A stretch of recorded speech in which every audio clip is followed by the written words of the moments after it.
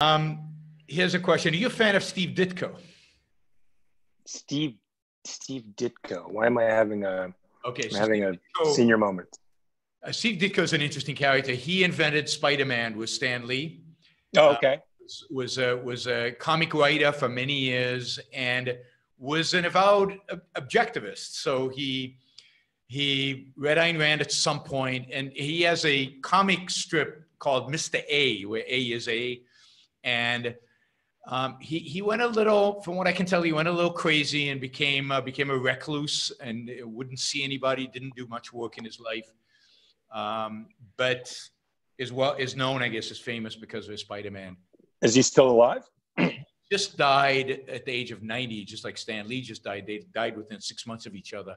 Hmm. Um, and he died uh, just about six months, nine months ago. We we made attempts to communicate with him. Uh, he used to make a contribution to the institute once a year, but he wouldn't meet anybody, wouldn't talk to anybody, he wouldn't see anybody. Um, but uh, Why did he become so so misanthropic? I don't know why why you know he was a little crazy. Hmm. Yeah, why I don't know. I, I you know maybe maybe the the rejection of uh, of the community around him when he did objectivist themed material. Mhm. Um, maybe that was too much for him to bear.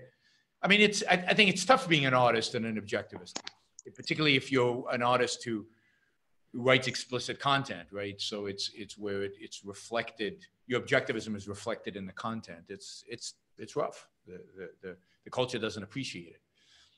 And because the culture doesn't appreciate it, it's it's a little tough not being didactic. Yes, and I think he was way too didactic.